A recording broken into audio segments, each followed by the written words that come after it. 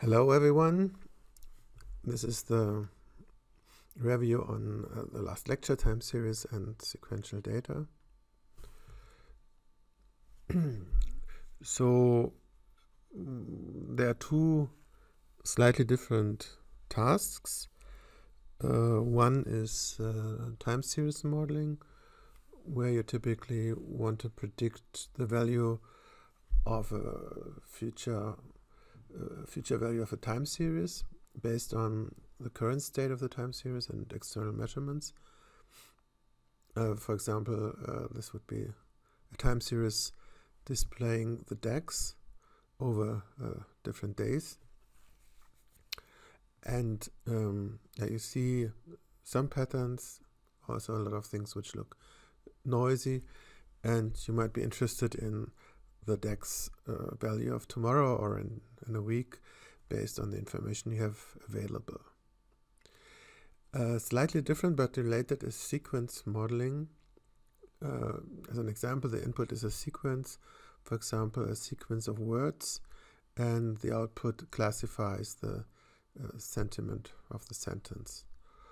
Or in a encoder-decoder situation, uh, the input is a sentence for example, a sequence of words and uh, in English, and the output uh, is a sentence translated into German or French.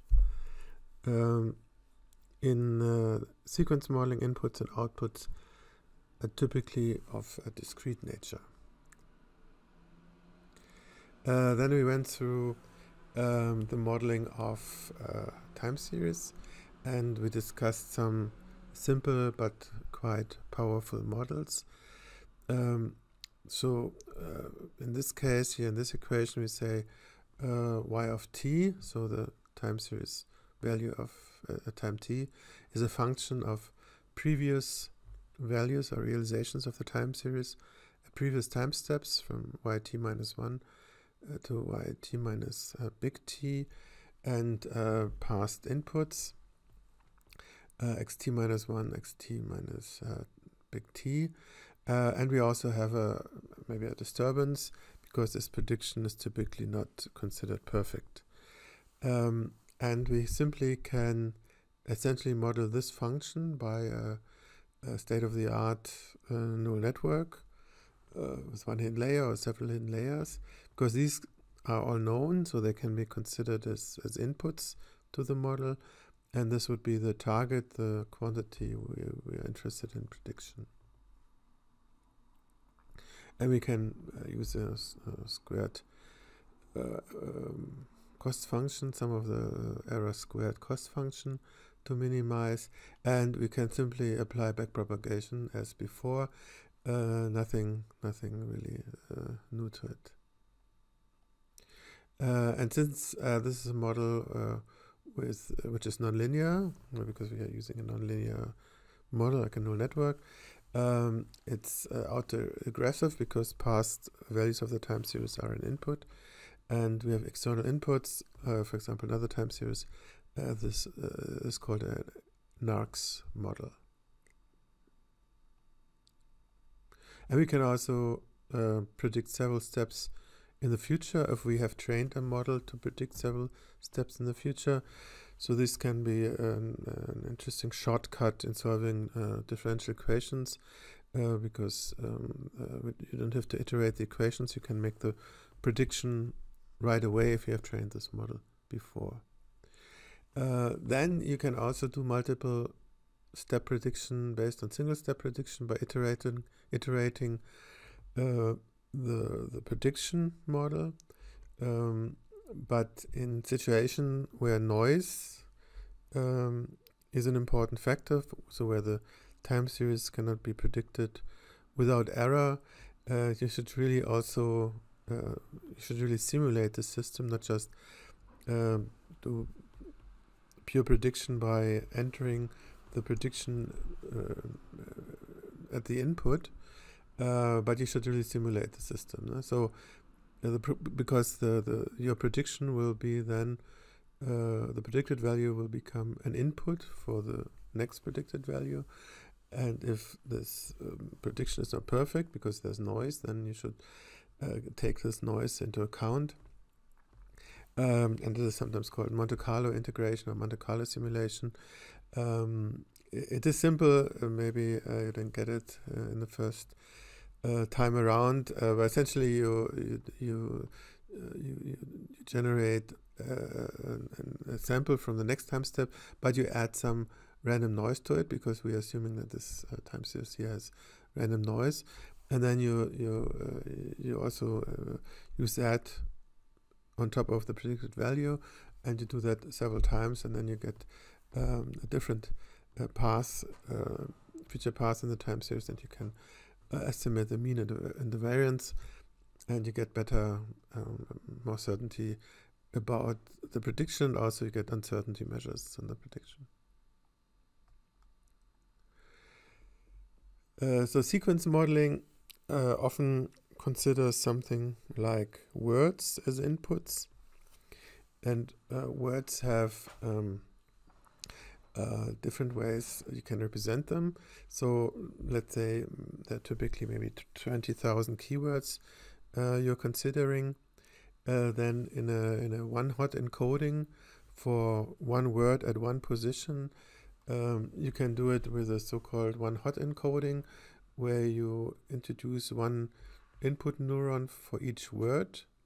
So for one position, this would be then 20,000 input neurons.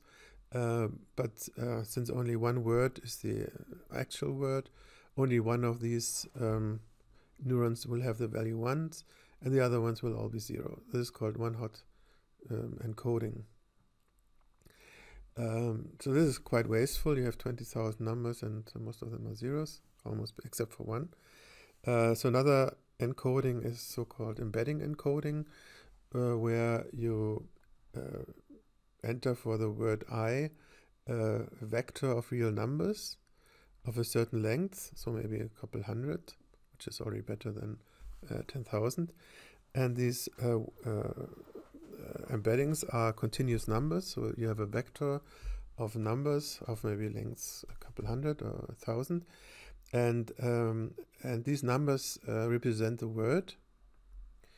Um, and where do you get these numbers from? So typically, um, uh, people uh, publish these word embeddings based on the analysis of a very large uh, text corpora.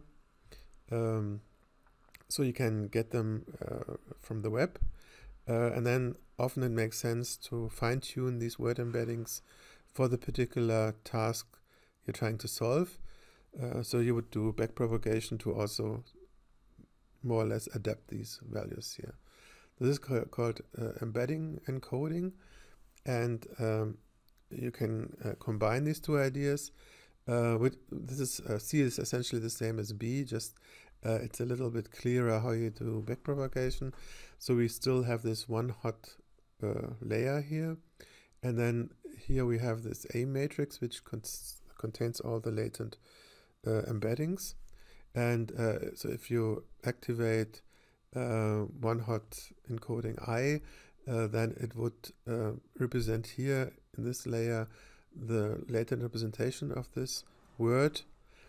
Um, so that's the me mechanism is exactly the same as here, but here it's clearer how you do backpropagation because now it's just one more layer and you can backpropagate to this layer and adapt the um, weight matrix A.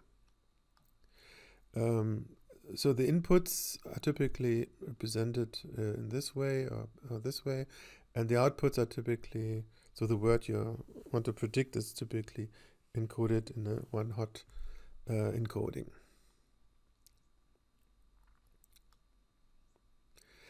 Yeah, one way is to do uh, language modeling, where you predict the next word in a sequence, in a sentence, based on the previous words.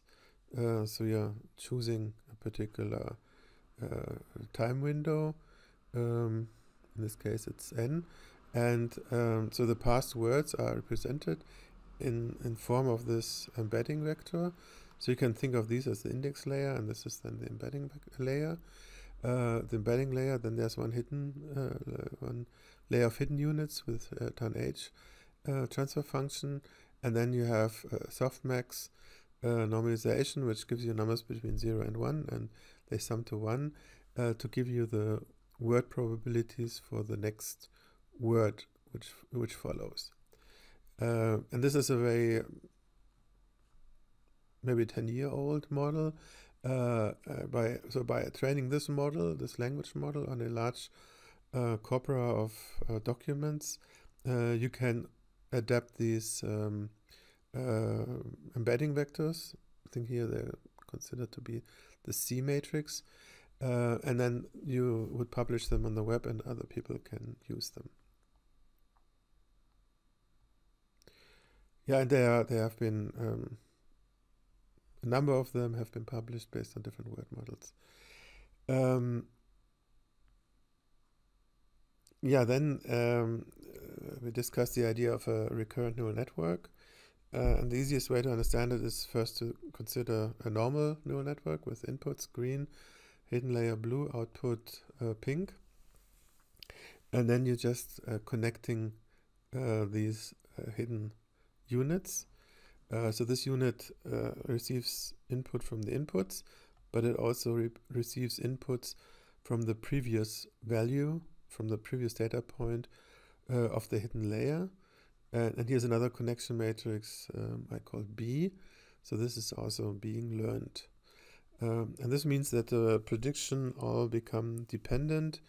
Uh, so the prediction in this location here uh, would consider the latent representations in the previous time steps, and which means that it also would consider the previous inputs. Uh, so here you get what is sometimes called a memory function and we went through the equation. This is another, another way of drawing it. So this is called unfolding in time, uh, which is probably the more intuitive way of looking at this. Uh, this is another way where you don't unfold it in time, but you indicate these recurrent connections within this network structure. Uh, learning in this system is uh, backpropagation. Uh, of course, everything becomes a little bit more complicated because you have to the prediction here is affected by this input, uh, and this input propagates through all these hidden layers to this output, and an error here would also have to be propagated back all the way to this input.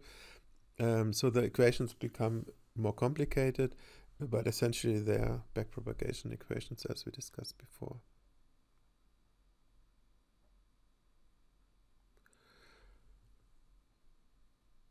Yeah, and then uh, people, uh, since in these uh, simple recurrent neural networks, uh, this input can only uh, affect things which are further down, downstream. Let's say this one can affect this prediction, but this one cannot affect this prediction. Uh, people often are using these bidirectional models, bidirectional LSTM models, um, where you have nodes which, hidden nodes which propagate forward, and other hidden nodes which propagate backwards. Uh, so, uh, so this input can also affect a past uh, prediction and the other way around. And in particular, in, in language models where you're interested in a sentence and uh, time in that sense is not important because uh, you have the whole sentence uh, available. It makes sense to use these bidirectional models. and then we discussed LSTM, so the equations are a little bit complicated. Um, and you can try to understand them. They're, I think, also a little bit tough to understand. Uh, but you uh, essentially introduce uh, a number of gating uh, uh, networks or gates, which can um, turn on and off a certain input. Um, so this is the input gate, um, uh, and, and uh, let's see what we have an output gate and a forget forgot gate. Um, and uh, by this multiplication units um, you always build a factor or a product of both numbers. And if the gate becomes zero it simply doesn't pass any information through. Uh, so here's the input gate here's the input um, yeah uh, and besides, so we have output gates to um, uh, manipulate the output. Uh, we have a forget gate, which uh, um, uh, which which modifies this uh, feedback loop in between, and we have the input gate which modifies the inputs which are coming from here. Uh, and here is another uh, recurrency built in um, where, where, there's a self-recurrency in this uh, internal cell here, uh, which can also be modified by a forget gate. Um, the advantage of this complex structure is that uh, it really uh, forms a long-term memory. That's where the name comes from, long short-term short-term memory, and it was really a major advance in technology, and it has been used and is being used in many applications. So it's uh, really quite a successful development despite its complexity. Um, and the newest development are these encoder-decoder architectures. Although they okay in the basic uh, approach, they are, they they work with LSTM units. So here's a typical architecture. So you want to enter, I'm a student, and you want to get out, je suis étudiant in, in French in this case.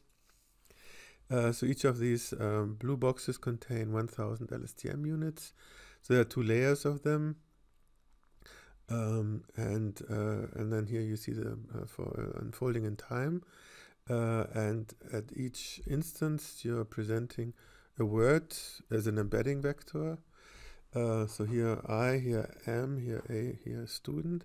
Then these blue um, LSTMs form a memory and the representation, which is then passed to the decoder, and the decoder then has the output connections, which decodes je suis étudiant. Um, and um, so it's simply a forward propagation here. So here's the input, here is the output, which also generates the error signal. Um, and, and one more uh, important uh, thing to consider, that since here uh, these uh, blue boxes expect an input, the red ones also expect an input. Uh, so if you decided here that je uh, was the right word, then you would present this as an input to, to this uh, uh, layer here, or to this instance, the decoding. And then suis, and suis becomes input, étudiant, étudiant becomes input, and then it decides end of word, nothing continues. Um, so your own prediction influences the future prediction, and we discussed before that this is a, a bit dangerous. Uh, so what people are, are doing, uh, are doing is um, essentially either a stochastic simulation, as I uh, discussed before, or a smarter tree search to find decodings uh, with with high probability, with high likelihood, and then they decide for the most likely um, decoding.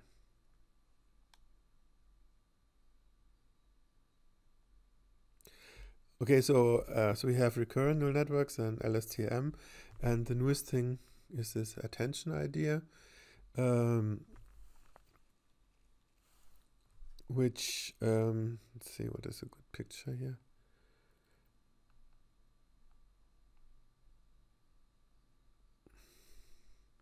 So essentially, um, uh, you, you form this attention layer, uh, which enables a decoder uh, to be sensitive to any word in the encoding even if this word was quite far in the past, uh, because the order of words in different languages, of course, can change.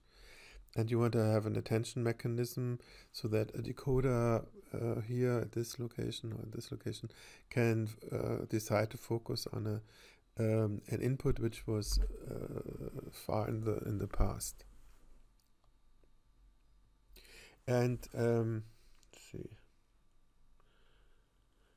So essentially, um, so this is the layer right be before the last layer. So afterward you have the decoding layer, uh, and it's a sigmoid, and, and this would be the normal operation. It's a, a v times uh, zt, um, uh, but, but you add uh, another matrix multiplied by another input, this uh, ct input, the context vector. Uh, so first of all, to recognize if uh, d becomes zero, then this is the old uh, uh, neural network. But since we add this component now, we have more flexibility. And what is this c value? So the C is essentially a weighted sum of the latent representations in the encoder. So here as you see you know, these are the representations uh, of the encoder. This is the um, context vector, and here you see a sum, and these are just numbers, so they and they're positive and sum to one, uh, and uh, they sort of evaluate how similar uh, the current location of the decoding is with the different uh, input um, encoding representations, uh, because this AT is is an aligned function of um, ZS bar and ZT. Uh, so ZT is the, the, current location where you're interested in, and uh, Z bar S is uh, a representation in the encoder. Um, then you have a score. A score can be simply an inner product, uh, and uh, you take this into the exponent and normalize it. Uh, so this takes care that everything is no non-negative and sums to one. so this is what they call a convex combination. Um, so you, you essentially um, try to inherit something from similar latent representations which were used in the encoder. And there's this uh, global way of doing it, uh, and there's also something where you have this estimate of where this word might have been in the input, uh, which is called a local attention model. And uh, and you can do this attention model also within one not just encoder decoder architecture, but also a simple uh, encoder architecture, and that is called uh, self attention. And and here it uh, makes sense to compare the different architectures. And maybe it gives you some insight.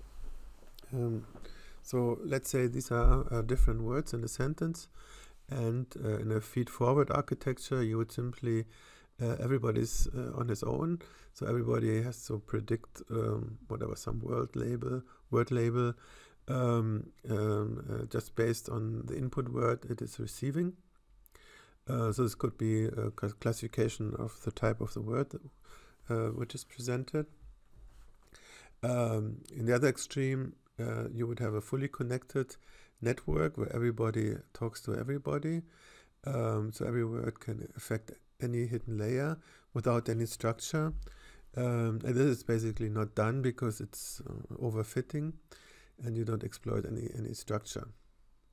Uh, then if you ha have a convolutional uh, approach, then uh, you have this fully connected uh, connectivity, uh, but um, all the weights with the same color have the same value. So from here to here and here to here and here to here, they're all green, have the same uh, have the same values. Um, and, and the red ones have the same values and the blue ones have the same values.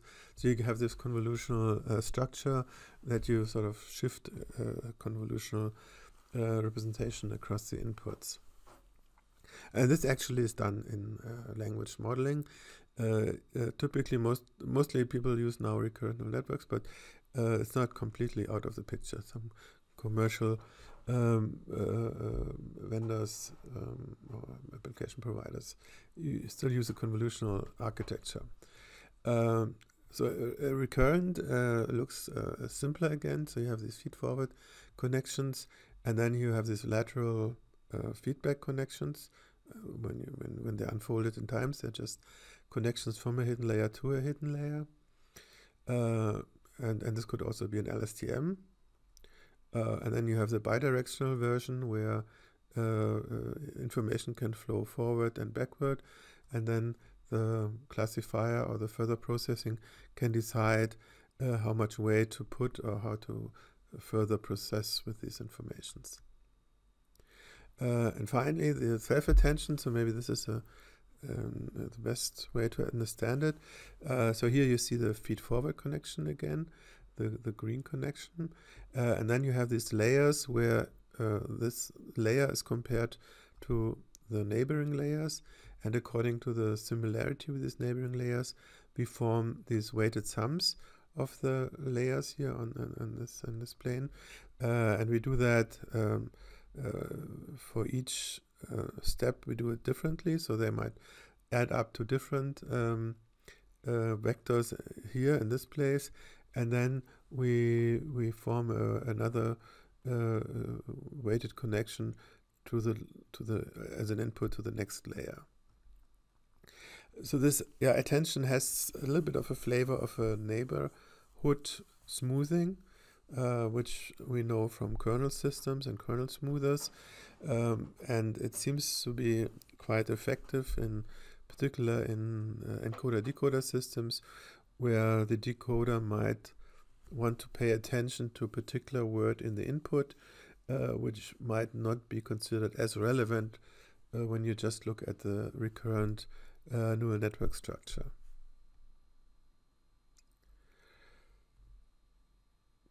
Yeah, sequential, sequential models find many applications in natural language processing applications, including machine translations.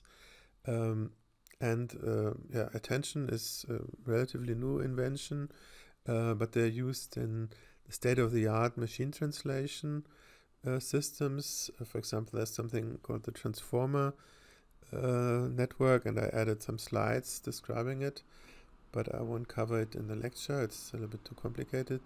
Um, but uh, they even say that, so in the networks we discussed, there was still a recurrent neural network uh, involved, and they uh, take out this the recurrency in the recurrent neural network completely, and only work with attention, and they get very good performance. But the networks also become quite large. And attention mechanisms are also used in context sensitive embedding models uh, like BERT, uh, which is also currently a very popular model to calculate word embeddings uh, which considers also the context uh, of the word. Okay, thank you very much.